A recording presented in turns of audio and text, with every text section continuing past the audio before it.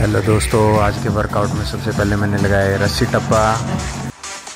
उसके बाद लगाए एब्स की एक्सरसाइज पेट की। पेट की एक्सरसाइज के बाद हम लगाएँगे कुछ थ्रस्टर्स ये बहुत बढ़िया वार्म अप है थ्रस्टर्स में आपका पूरा ज़ोर लग जाता है। थोड़े से हैवी वेट के थ्रस्टर्स लगाए।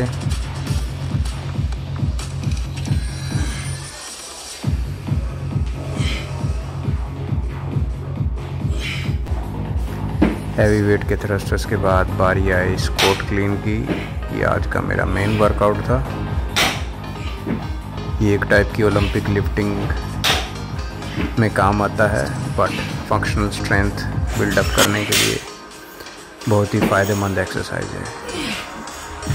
धीरे धीरे मैंने अपना वेट बढ़ाया स्कोट क्लीन में और हैवी वेट की तरफ़ जाते हुए।